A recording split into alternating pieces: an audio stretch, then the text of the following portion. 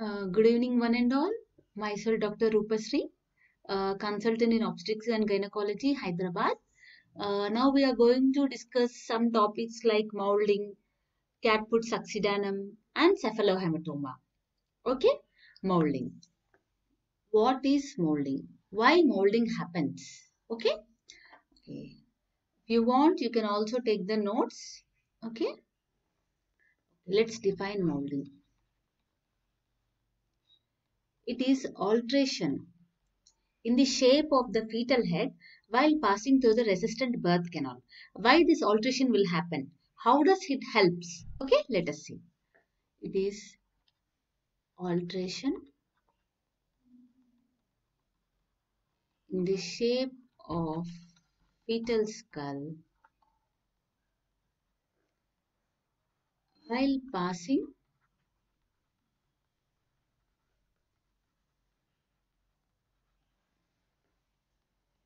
through the resistant birth canal. Okay, resistant birth canal. What happens is about 4 mm of changes occur.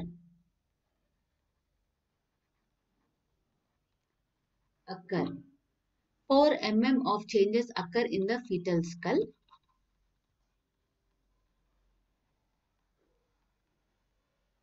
Four mm of changes occur in the fetal skull because of escape of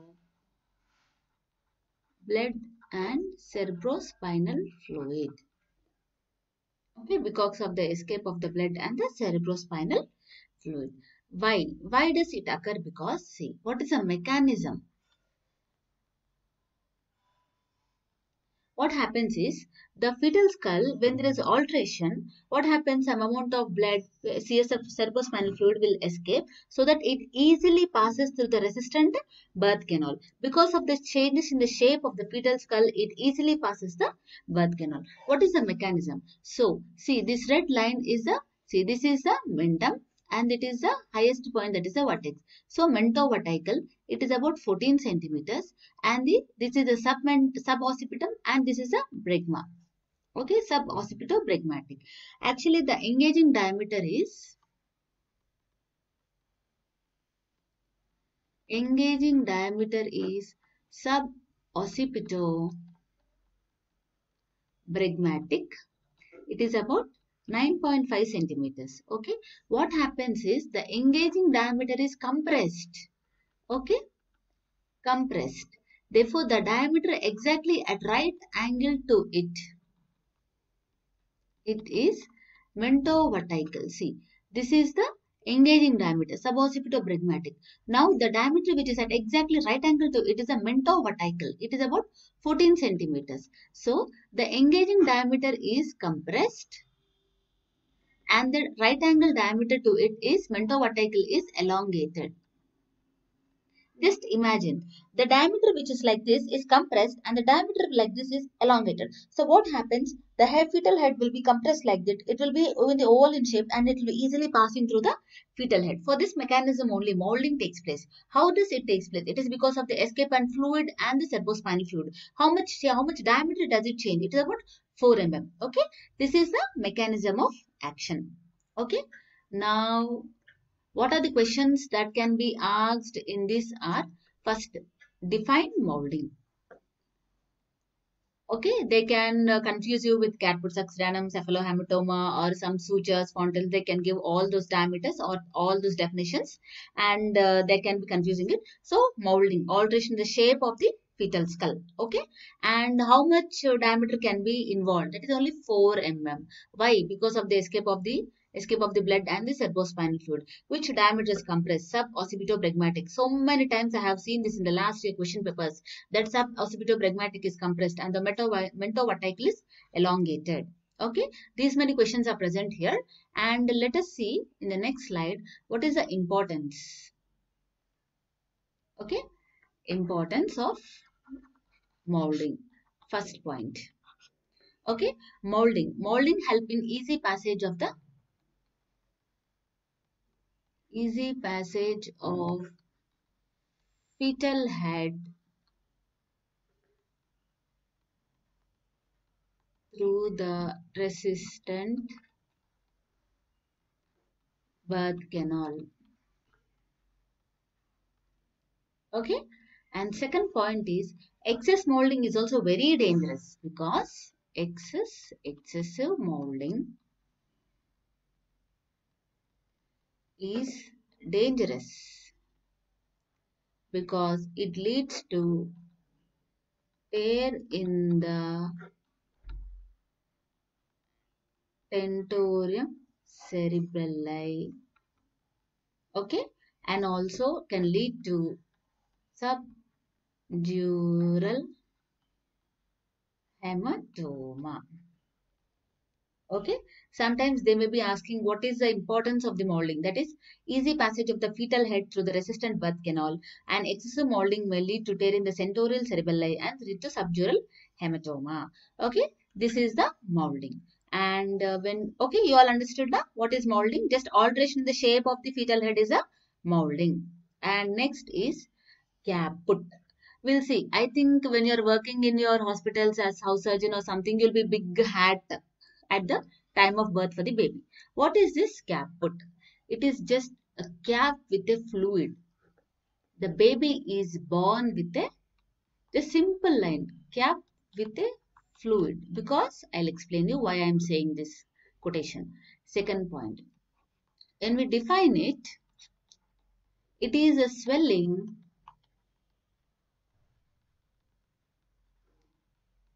because of accumulation of fluid in the layers of fetal scalp. See, actually the fetal head should be like this. This is the point. It should be like this. Why this elongation is present? Why this swelling is present? Why? Why this swelling is present? See. Why this swelling? Why this fluid is accumulating? Because see the mechanism of action. See what happens is, see when the fetal head is passing like this, there will be the cervical ring. Okay. From there, from the uterus, it should pass like this and through the cervix, it should come out. What happens is the fetal head will be in contact with this cervical girdle or the cervical ring. The part which is in contact with this, the fetal part which is in contact with the cervix, what happens is it is compressed. So, part fetal head in contact with cervical ring is compressed and except at this part the other area like this like this what happens is it is other overlying area other overlying part of head is free from pressure it is free from pressure. What happens now? Because of this, the venous and lymphatic drainage of fetal skull are disturbed. and it lead to accumulation of fluid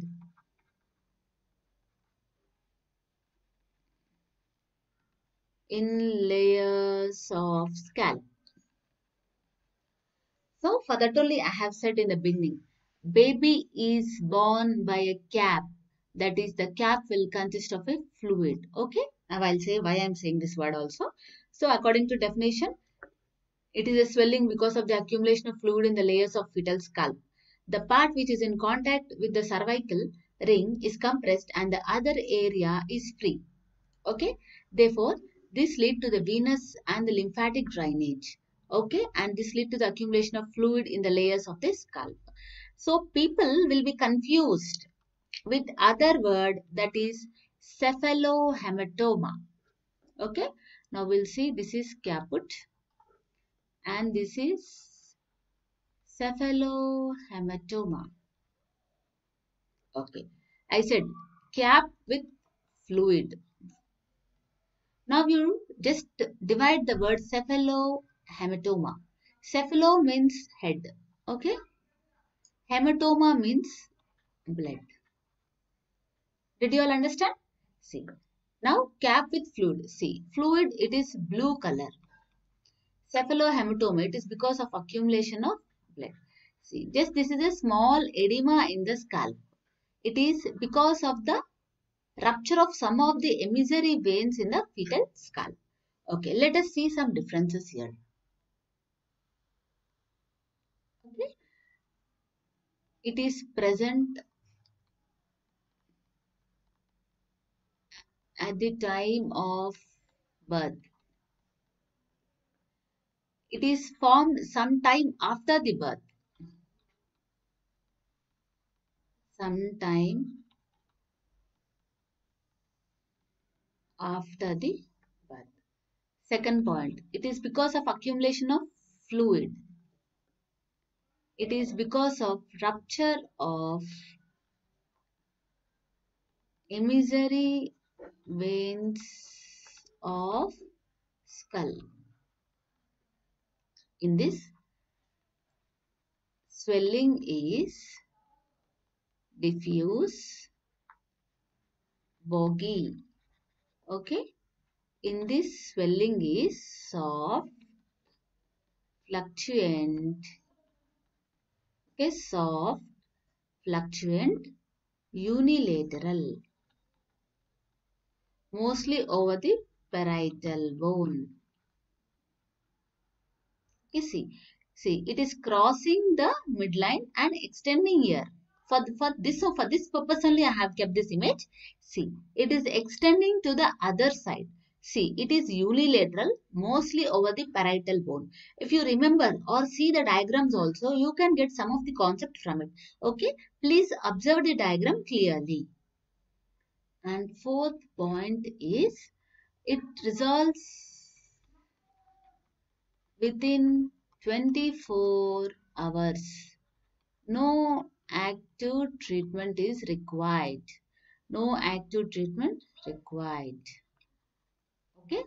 In this, what happens is, uh, it resolves uh, in which the blood will be absorbed completely, absorbed completely within 6 to 8 weeks. Okay, in this also no active treatment is required. No active treatment. But you have to know the difference between both. It is a cap with a fluid. It is cephalo, head hematoma, head with blood. Okay, it is present at the time of birth.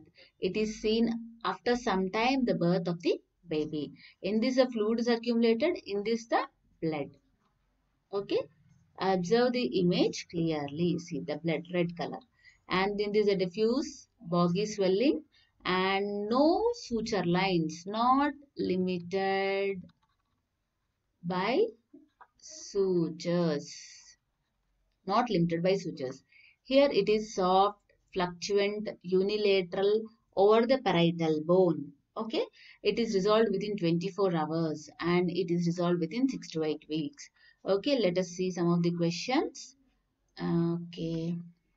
Uh, they will be asking uh, which of the swelling is present at the time of birth. You can say it as caput the swelling which is present after some time of the birth it is reddish it is soft fluctuant over the parietal bone means you will explain regarding the cephalohematoma okay which one is resolves within 24 hours means it is caput caput succedaneum it takes almost one month means it is about cephalohematoma okay now in this class we have discussed regarding the molding caput succedaneum and the next is cephalohematoma why I talked about cephalohematoma here is most of the people will be confused. In differential diagnosis, they'll be confused here. So, I have explained the cephalohematoma by dividing the word. Okay. Now, thank you.